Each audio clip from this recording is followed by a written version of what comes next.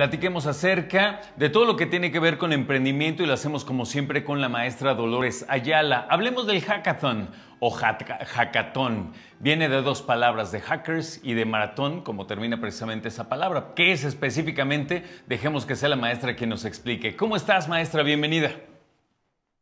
Hola Alfredo, pues muy contenta y como te comentaba hace rato aquí, con mucha emoción de mis estudiantes. Ahí están, a ver que se escuchen esos muchachos, ¿dónde andan? Sí, pues andan por aquí afuera, este, creo que no se alcanzan a escuchar hasta acá en la oficina, pero sí siento toda la emoción que traen. Qué bueno. Que traen ahorita con el partido. Así es, y pues fíjate que el hackathon pues también tiene que ver con esto de los partidos, porque es un concurso y efectivamente, como tú comentas, pues es una palabra que tiene que ver, eh, surge en el mundo de los hackers, no se tiene que hackear nada, no es algo que, que tenga que ver realmente con hackear, pero surge en el mundo de los hackers y es precisamente una competencia y es una competencia con ciertas características. ¿Y por qué vamos a hablar hoy del hackathon y qué tiene que ver esto con el emprendimiento?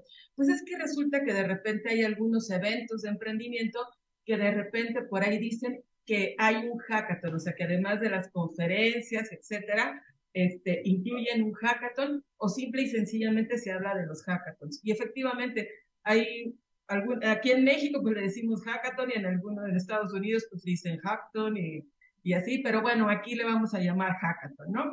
¿Y cuáles son sus principales características? Pues la primera es que como es una competencia, hay que resolver un problema. O sea, cuando se convoca un hackathon, hay un problema definido que hay que resolver. Estos problemas pueden ser de educación, de salud, pueden ser problemas sociales, Pueden ser incluso problemas, eh, hay, hay un banco en México que hace hackathons que son muy grandes y hace eh, problemas precisamente que tienen que ver con finanzas, ¿no? Con temas de fintech.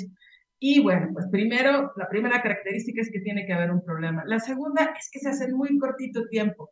Un hackathon puede ser de 24, de 48 horas. Y como ahora ya hay hackathons que son virtuales, esto se popularizó más durante la pandemia, pues pueden ser de 72 horas o incluso de más tiempo, pero lo normal son 24 a 48 horas. Y el desafío se resuelve con un código, programando, haciendo una aplicación. Sin embargo, si alguien ve una, una convocatoria de hackathon y no tienes relación con la tecnología, métete, porque lo más importante en un hackathon es resolver el problema en equipo. Y cuando hay un equipo, no solo necesitamos personas de tecnología, se requieren personas que sepan de diseño, se requieren personas que probablemente estén relacionadas con el desafío que se va a desarrollar. Por ejemplo, si es un desafío de salud, probablemente algunas personas que tengan que ver con medicina estaría muy bien que estuvieran participando. Eh, se requieren diseñadoras porque también hay que ver cuestiones de diseño. Entonces, se requiere de todo el mundo. Así que yo le recomiendo a todo el mundo que si ve un hackathon y tiene oportunidad de participar, participe, ¿no? ¿Y qué ganas con un hackathon? Bueno, independientemente de que hay premios porque es un concurso, la verdad es que lo que ganas es la experiencia. Los hackathons son buenísimos para que uno comprenda lo que es el trabajo en equipo. Y principalmente esto es de lo que se trata un hackathon. Ok, entonces me despejas la duda, porque yo pensé la verdad que el hackathon tenía que ser hackear algo.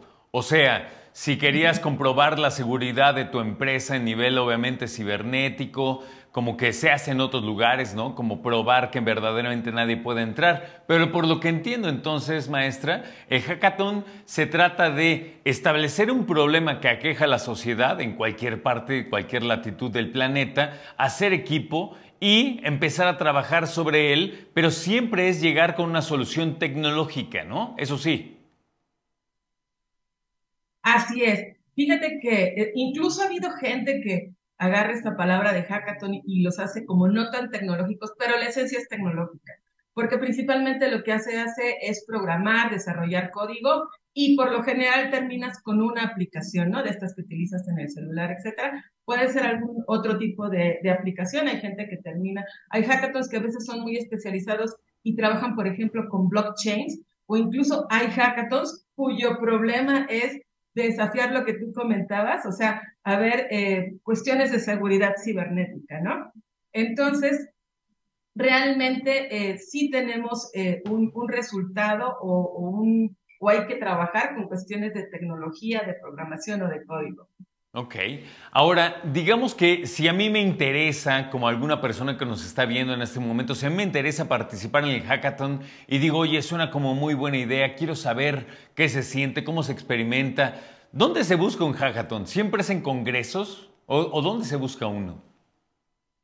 Fíjate que, bueno, en primer lugar los invito a que visiten nuestro Facebook de Emprendedores Lasallistas. Nosotros ahí publicamos todos los hackathons que llegamos a encontrar de cualquier tipo. Hay bancos, por ejemplo, hay un banco muy grande en México que siempre saca su hackathon.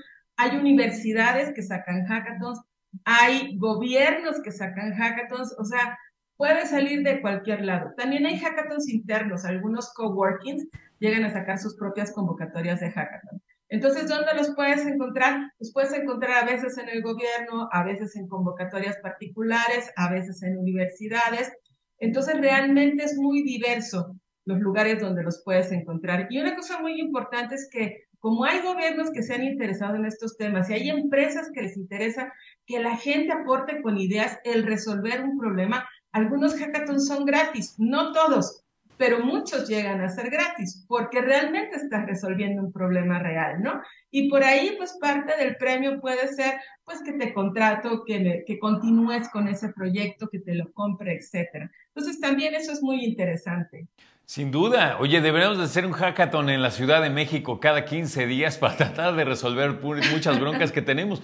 Y, y nos da risa, a mí también me da, pero de verdad no es mala idea, ¿eh? Sí, sí, sí. Y además, ¿sabes qué? Que hay mucha gente que le da como miedo a la palabra hackathon. O sea, eh, la verdad es que también yo la primera vez que lo escuché dije, ay, ¿de qué se trata esto, no?